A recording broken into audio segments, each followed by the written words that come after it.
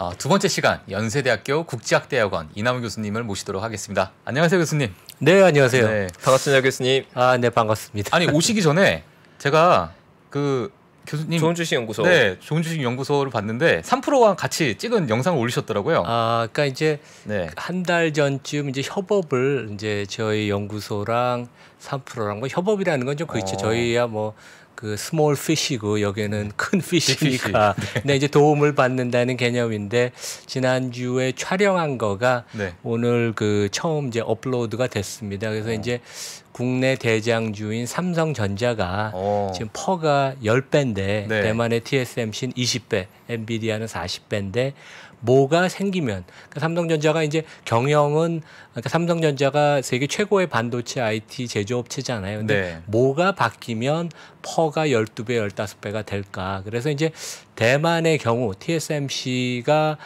35년 역사 동안 항상 주주 친화적으로 경영을 했어요. 외국 사람들이 네. 그래서 되게 좋아합니다. 네. 그래서 대만은 97년에 이미 아, 주식은 미국에 상장했어요. NYS에. 어. 우리도 그렇게 하면 된다. 어떻게 하냐면 현금이 많은데 삼성전자가 그걸 활용해서 자사주를 사고 네. 일부 소각하고 일부는 미국에 상장시키면 됩니다. 그러면 어, 국내와 별도로 미국의 삼성전자 주식이 애플 어, 뭐 테슬라 같이 거래가 되는 거죠. 어. 그렇게 이제 TSM은 되고 그래서 뭐 속스 같은 반도체 지수가 TSM 사고 그래요. 삼성전자 안 사거든요. 네. 그러니까 이제 그런 변화가 어려운 게 아니고 제가 미국 그 IB 대표 두 분하고도 체크를 했어요. 이게 현실적으로 법률적으로 가능하냐? 전혀 문제 없다고 그러더라고요. 그래서 이런 것들을 다음 주 주총하니 삼성전자. 아, 아 삼성전자 너무 재밌겠는데. 그러니까요. 네. 삼성전자가 이렇게 지금처럼 저평가 받고 있는 게 국내 증시에는 상당한 부담이고 그 rating 되는 게 사실 주주 그렇죠. 입장에 굉장히 중요할 수 그렇죠. 있잖아요. 예, 그래서 좀 사고의 전환이 필요하고 뭐 불가능한 건 아니고 그 워낙 또 좋은 회사고 현금이 많으니까 음. 한번 그런 거 생각해 보면 좋을 것 같습니다. 예. 네, 알겠습니다. 일단 뭐 저희 오늘 또 교수님께서 또 주신 어, 이야기가 이제 사실 워, 이제 에너지 가격이 너무 많이 상승을 하고 있고요. 그렇죠. 네, 또 이제 전쟁 이 상황에서 이제 교수님께서 이제 보시는 또 러시아가 또 이제 많은 비중을 좀 차지하고 있잖아요. 그렇죠. 네, 예. 근데 그런 부분에 대해서 조금 설명을 좀 부탁드리겠습니다. 네, 그러니까 저는 원래 작년 말에 조금 시장을 조심하자 그러고 어, 한 달 전만 해도 아, 장이 이 정도 빠졌으면 좀 더 기회를 봐야 되는 거 아닌가. 근데 이번에 우크라이나 전쟁이 생기면서 가장 최악의 combination이 그 스태그플레이션이거든요. 어. 저성장 고물가로 고물가. 가면 증시에 가장 안 좋습니다. 이제 제가 설명을 좀 드리겠습니다.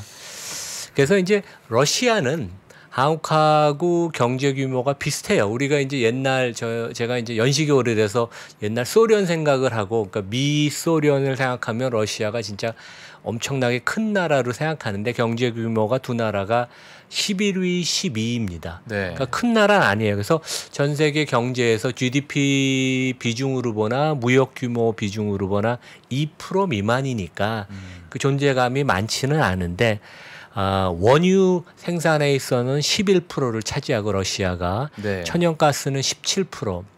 그다음에 이제 유럽에서 독일 같은 나라가 이번에 미국이 아, 러시아 원유를 금 수입 금지를 하려니까 독일이 일단 no 했거든요. 네. 이제 그런 게 그 유럽의 대부분 국가 특히 독일 아, 하고 아, 이태리 이런 데가 러시아 가스의 의존도가 높습니다. 4, 50%. 그러니까 이제 겨울 나기가 어려운 거죠. 그리고 또 러시아가 우크라이나랑 더불어서 뭐 밀 이런 그 옥수수 생산을 많이 합니다. 그래서 이제 에너지 시장에서 존재감이 크고 그래서 이제 지금 전 세계 그 금융 시장이 좀 흔들리는 것 같습니다.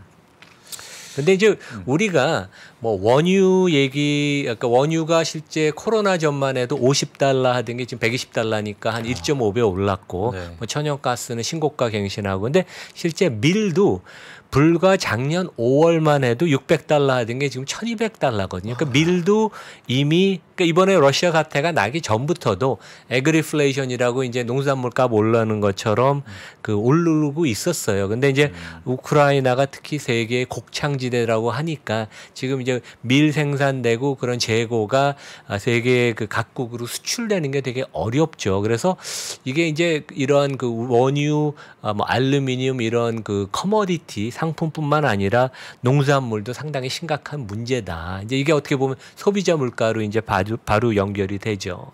결국 이 부분 때문에 시장에서 스태그플레이션에 대한 그렇죠. 계속 나오고 있는 예, 거죠. 그래서 이제 스태그플레이션이 뭐냐면 음. 원래 stagnant 경제가 정 멈춰 있다는 stagnation과 인플레이션이 합쳐져 있는데 여기 음. 이제 그림에서 보시다시피 경제 성장률은 둔화되고 그 결과 실업자가 많이 양산이 되고 음. 그 결과 기업 이익이 이제 주춤하는 겁니다. 되게 감소할 수도 있고 네. 그다음에 인플레이션은 올라가는 그래서 과거 한 20년은 가장 좋은 combination이 뜨뜻미지근한 경제 성장을 하고 어. 기업 이익은 그보다 좀 늘어나면서 저인플레 저금리면 그 기업 이익의 증가하는 데다가 PER가 올라가거든요. 그래서 네. 이제 미국 시장의 PER가 20배가 넘었죠. 네. 근데 지금 이제 걱정되는 건 진짜 기업 이익이 급격하게 둔화되거나 증가율이 아니면 감소할 수도 있는데 여기다가 금리가 이제 올라가기 시작하면 최악의 combination이 돼서 아마 이제 그런 우려감 때문에 어제 미국 주가가 많이 빠진 것 같아요. 그래서 진짜 그 미국 연준의 역할이 어느 때보다 중요한 시점 같습니다. 그래서 미국에서 이제 스태그플레이션 얘기가 좀 나오는 게 미국이 노동자가 부족해서 어 그 근로자 임금이 한 5, 6% 오른다 해도 실제 CPI가 그보다 더 성장률이 높으니까 기업 근로자들은 실질 임금, 그러니까 물가를 차감한 자기의 실질 임금이 감소하거든요. 그러니까 이제 되게 그만큼 이제 구매력이 준다는 얘기죠. 그만큼 보면 물건을 살 수 있는 여력도 없고. 근데 결국은 경제는 뭐 증시도 그렇지만 심리인데 이 부분을 파웰이 시장과 교감을 잘 할 텐데 진짜 이걸 슬기롭게 잘 헤쳐 나갈 건지 상당히 저도 잘 모르겠어요. 자신감이 없어서 그런 부분이 좀 걱정이 한 달 전보다 좀 더 많이 됩니다. 예. 음, 제가 뉴스를 잠깐 보니까 지금 미국인들이 지금의 그 이제 주유소 가면 기름을 넣을 때 지금 가격을 지, 이전에는 본 적이 없는 가격을 지금 보고 있다. 그러니까 지금 20대나 네. 30대 초반이 볼 때는 지금 미국은 pump price라 그러죠. 이제 네. 가스 넣는 걸 펌프라 그러니까. 근데 그 가격이 지금 보 지금 1, 20년 동안은 보지 못한 가격이 이제 나오기 시작하죠, 되게. 어. 근데 미국은 보통 가구에 자동차가 한 2.5대 있거든요. 네. 그리고 워낙 장거리를 뛰니까 음. 그 휘발유 값이 많이 올라가면 어, 직접적으로 가게 그 구매력 소비가 위축이 돼서 그런 면에서는 또 오히려 전기차들한테는 음. 좀 어떻게 보면 좀 호재가 아, 이럴 기회에 좀 전기차로 스위치를 하자 이제 그런 수요도 있을 수 있습니다. 물론 이제 뭐 차들이 한 5만 불씩 하고 그렇긴 하지만 아. 예. 그러겠네요, 정말 전기차. 그렇죠. 네. 최근에 사실 이게 유가가 많이 올라가면서 물가가 부담 주는 게 제일 부담을 주는 건 사실 기존의 연준의 정책들 같은 것들이 인플레이션 일시적일 거라고 얘기했는데 생각지보다는 전쟁이 터지면 이게 장기화되는 추세에 있고 음. 제니 옐런 같은 인물도 사실 하반기 되면 물가 인플레가 3에서 3.5% 안정될 거라고 얘기했는데 그게 계획대로 안 되고 있는 거죠. 음. 그러다 보니까 인플레와 관련된 것들은 다 타격을 입고 시장에 놀라고 있는 거고 음. 근데 또 반대로 EV라고 부르는 일렉트릭 비클은 더 또 수혜를 보고 있는 영역이거든요. 음. 그러니까 사실 어떠한 임팩트가 왔을 때 이게 꼭 부정적인 면만 있는 거 아니고 긍정적인 면이 있을 수 음. 있는데 요즘은 EV가 확실히 좀 관심이 많이 받긴 한 것 같습니다. 아마 뭐 미국도 그렇고 한국도 그렇고 전 세계적으로 전기차에 대한 관심은 있었지만 좀 더 아 이번은 아니고 한 2, 3년 후에 미뤄야지 이제 그런 분들이 진짜 고유가가 지속이 된다면 아 이번 기회에 전기차를 사야지 이제 그런 그 대체 수요 같은 것도 있을 것 같아요.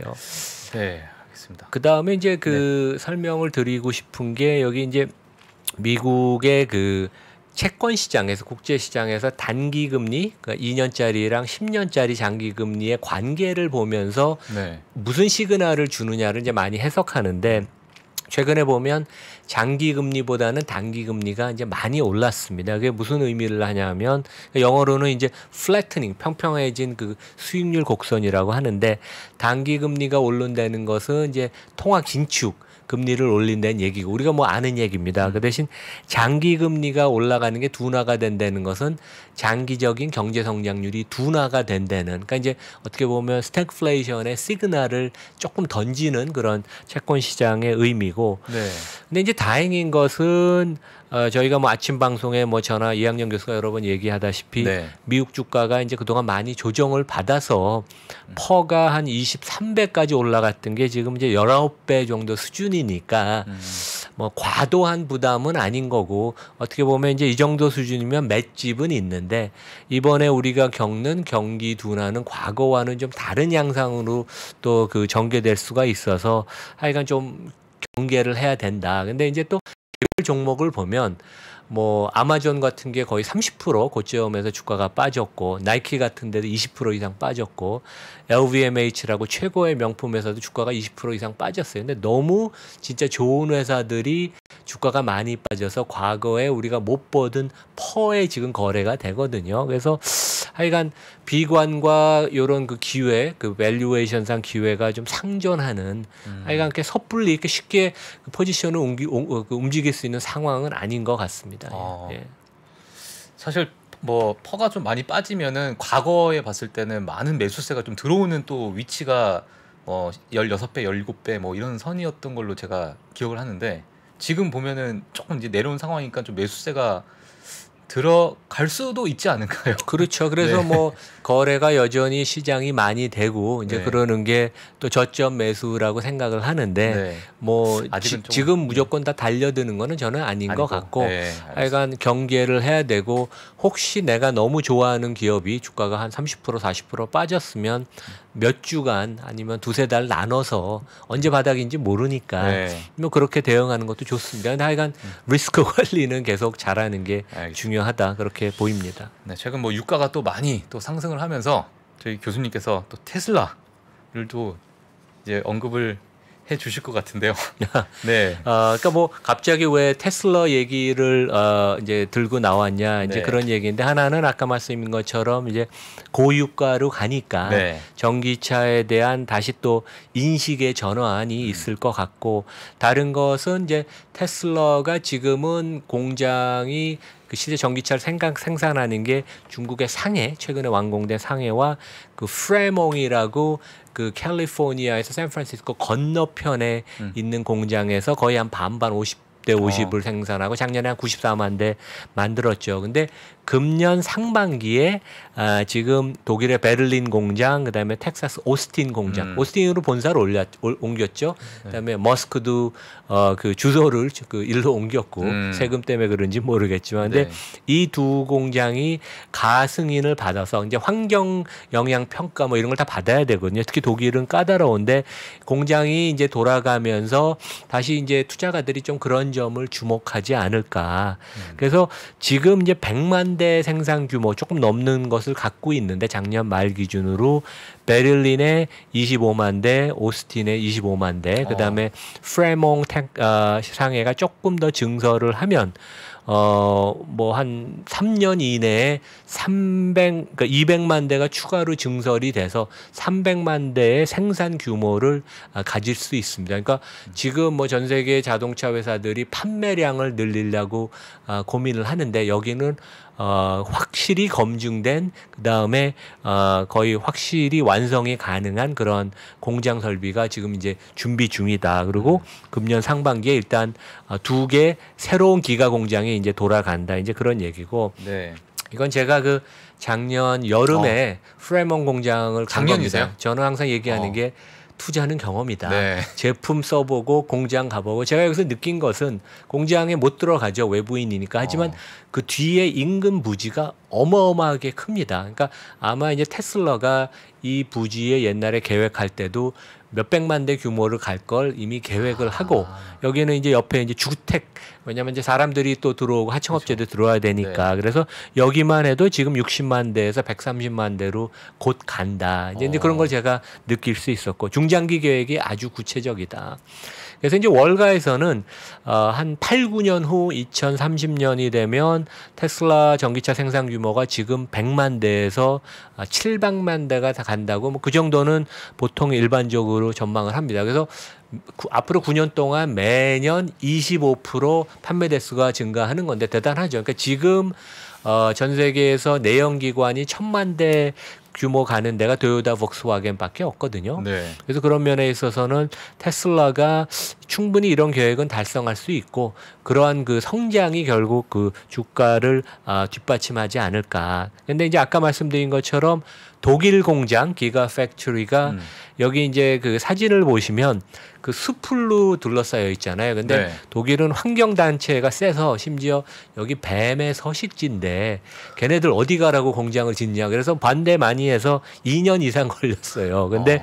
이번에 조건부 승인을 받았다고 합니다. 그래서 그 가동을 할 수 있는 청신호고 이미 자동차는 물량을 만들고 있는데 완전 최종 그 승인을 받지 않아서 조금 몇 주가 더 걸릴 것 같고 그 다음에 이제 더 큰 공장이 본사를 본사를 이전한 텍사스 오스틴 기가 음. Factory 여기 보면 뭐 공장이 어마어마합니다. 이게 이제 Gigafactory라는 것은 생산 과정이 수직 계열화가 다 됐다는 얘기인데 아. 그래서 여기 특징이 모델 Y가 이제 처음 생산될 텐데 네. 이 공장에서는 이제 베를린도 모델 Y, 그러니까 그 테슬라가 가장 미는 그 차종이죠. 근데 어, 성능이 좋은 효율이 높고 주행 거리가 먼 4680 배터리를 이제 장착을 처음 할 것이다. 그래서 왜 4680이냐 하면 높이가 8cm, 아. 나비가 4.6cm. 그래서 이것은 주행 거리가 더 한 20% 길어서 아, 750km 정도 간다고 합니다. 그러니까 부산을 왕복하고 어, 대구까지 다시 이제 돌아오는 거죠. 네. 그래서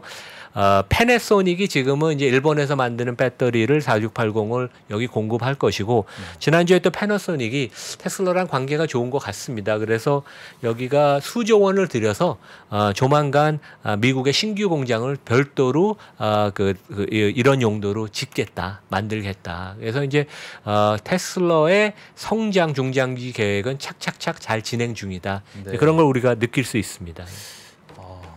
사실 그 제조업체 캐파가 10년간에 걸쳐서 7배 증가한다는 건 엄청난 거거든요. 과거에 우리가 보지 못했던 거고 사실 테슬라에 대해서도 최근 시장에 관심을 많이 가지고 있는 게 결국은 캐파가 늘어나게 되면 수요가 있는 상태에서 늘어나는 캐- 생산 용량이 전부 다, 다 매출로 연결되는 거니까 사실 그런 부분들이 좀 시장의 주목을 받고 있는 것 같아요. 그러니까 복리로 25%씩 증가한다는 게 엄청난, 엄청난. 거잖아요. 네. 야. 어, 요것도 이제 제가 네. 그 계산을 한 거죠. 그 항상 아. 계산을 정확하게 네. 하는 습관 저희 구독자분들도. 네. 근데 이제 결국 뭐 이렇게 성장이 돼도 그 기업이 돈을 얼만큼 버느냐 이제 음. 수익성 얘기를 해야 되는데 네네. 제조업체 아, 그 아니면 자동차 업체 치고 드물게 20%의 영업이익률을 어, 테슬라가 작년에 찍었죠. 음. 그러니까 전 세계에서 20% 넘는 영업이익률은 페라리밖에 없습니다. 아, 네. 3억, 4억짜리 슈퍼카를 만드는데, 근데 GM 포드가 작년에 좋았다고 그래도 영업이익률이 10% 수준이었는데 음. 그거에 이미 두 배죠. 근데 100만 대도 안 만드는데 20% 마진이니까 이게 이제 생산 규모가 300만 대, 500만 대 가서 규모의 경제가 생기면 어. 영업 leverage가 생기면 비용이 이제 그 차당 되게 그 단가가 낮아지면서 이제 더 마진이 올라갈 수 있는 여지가 있다. 그러니까 아. 이런 점이 upside를 우리가 기대할 수 있고 네. 이제 다음 페이지는 이제 항상 얘기하는 게 3년 전만 해도 테슬라는 주가 평가가 불가능하다. 이거 PER도 없고 적자인데. 음.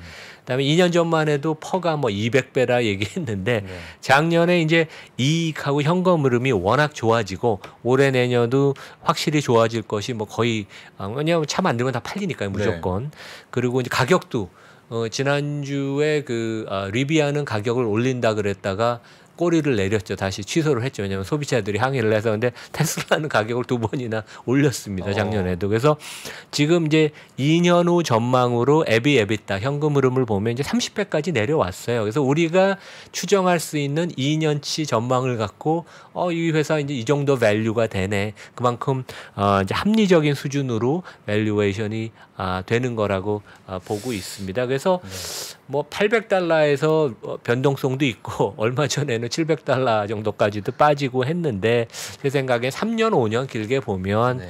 상당히 아 지금 수준이 매력적인 수준이 아닐까. 오히려 성장성이 높아서 병정성이 높지만 제가 보기에는 리스크는 아, 많지 않은 주식 같아요. 오히려 성장 계획이 확실하고 이 모든 게 딱딱딱 짜여져 있고 잘 돌아가고 있습니다. 제가 사실 방송을 하면서 이제 가끔 이제 저희 너무 많은 전문가 분들이 나오시잖아요. 근데 보다 보면 이제 설명을 듣다 보면 이게 갑자기 마음 속에서 아 이건 무조건 사야겠다. 이런 게 저 혼자 이제 생기는 게 있거든요. 오늘이 그날입니다. 끌리나요? 네, 너무 지금 이 상황이 네. 아 이거 방송 끝나고 빨리 사야 되나 이런 생각이 좀 들 정도로 음. 아, 근데 저희가 정말, 여기 그 네. 디스클로저 붙이는 것 같이 종목을 매수를 추천하는 건 아, 아닙니다. 네, 그렇죠. 네. 분석을 하는 거죠. PD님께서 네, 그거는 잘 해주실 거라고 어, 봅니다. 사실 그 미국 하면 또 포드가 있잖아요. 그렇죠. 네, 대표적인 또 자동차인데 네. 사실 뭐 테슬라도 뭐, 뭐 물론 좋은 기업이지만 미국에서 또 미는 또 포드 같은 경우에 또 어떻게 또 그러니까 전환이 이제 되고 있나요 지금? 테슬라는 독보적인 그 포지션이지만 네, 요즘 GM, 포드 다 잘하고 네, 특히 전기차는 그 포드가 되게 잘하고 있어요. 그래서 시장에서 테슬라가 1조 달러의 가치를 받는데 포드 CEO가 짐 팔리라고 이런 쪽에 되게 눈을 뜨고 되게 잘하는 분이에요. 그래서 요즘 포드가 모멘텀이 좋아서 작년에 아, 시가총액이 GM을 뛰어넘고 그랬었죠. 그래서 투자가들이 아, 포드가 전기차 사업이 그렇게 잘 되는데 분사해서 네, 그 따로 상정을 하면 그러니까 이제 분사 후 상장 한국에서 뭐 LG 엔솔 한 것 같이 네. 그렇게 상장을 하면 많은 시가총을 받을 텐데 이제 그런 압력이 있었는데 어, 며칠 전에 발표를 했죠. 우리는 전기차의 그 최우선 그, 그 프라이티를 두지만 회사 내 독립 부서로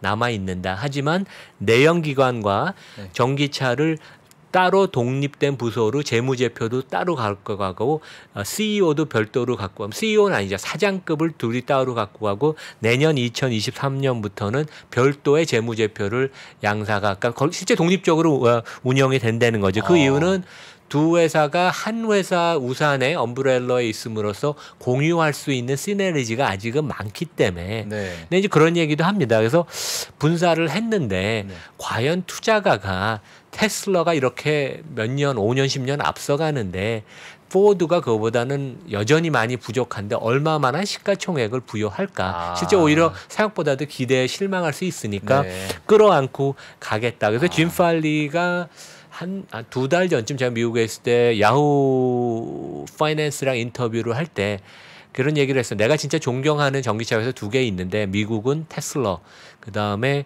아, 중국은 니오. 니오 뭐 주가가 최근에 이렇게 좋지는 않지만 그래서 자기가 진짜 바라는 것은 빨리 전기차 생산 규모가 포드가 60만 대를 가면 좋겠다. 이제 이것은 뭐 테슬라가 이미 2, 3년 전에 달성하고 테슬라 이제 올해 150만 대를 가겠죠. 네. 그래서 격차는 확실히 있고 제가 겨울에 또 포드 딜러도 갔습니다. 그래서 이제 무스탱의 그 마크 E라고 무스탱이 옛날에 그 젊은 미국인들의 로망이었거든요. 음. 영화도 여기 Mustang이 많이 나오고 근데 Mach-E가 되게 인기가 많아요. 여기 보면 약간 그 제네시스 어. 어, 그 G 어, 70 70인가요? 네네네네. 그 스타일 갖고 이게 값이 한 5, 6만 불 합니다. 그러니까 꽤 어, 비싸네요. 비싼데 모양도 괜찮고 안에 타 보니까 잘 만들었는데 그래도 테슬라 모델 Y보다는 어, 한 2%가 아닌 10%가 좀 부족하다. 왜냐면 저는 테슬라를 지금 5년째 저희 집 타고 있고 어. 모델 Y 제가 시승도 여러 번 해봤거든요. 네네. 그래서 포드가 진짜 잘하는데 그래도 이 테슬라와의 간격은 상당히 멀다. 이제 이제 어. 그런 점에서 뭐 두 회사 다 훌륭합니다. 그래서 포드는 뭐 그만큼 PER가 일곱 여덟 배니까 어, 저평가돼 있죠. 사실 저기 이남우 교수님께서 저 10%가 부족하다고 느끼신 건가요? 제가 느낀 거죠. 아. 2%는 근데 아니고. 어느 부분이 제일 어, 마음에 안 차를 제가 직접 몰아보진 않았어요. 왜냐하면 네네. deposit을 해야 되기 때문에 근데 차 안에 타보고 그랬는데 여러 가지 finish 그다음에 아. 테슬라는 그. 제품의 그 finish 완벽도가 되게 그 높습니다. 아, 아? 그러니까 이제 그런 면에서 좀 부족한데 음. 그런 거는 또 여러 가지 뭐 기사 같은 데를 봐도 네. 조금 테슬라와의 격차는 상당히 있다. 네. 근데 뭐 포드 전기차는 하여간 잘 나간다. 이제 네. 그런 아, 말씀을 드리겠고. 네. 그다음에 이제 마지막으로는 이제 GM이 되게 특히 그 여성 CEO 메리 바라가 잘 합니다. 음. 아 그러는데 전기차에서는 불행히 LG 센 엔솔이 공급한 그 배터리가 이제 터지면서 폭발하면서 아.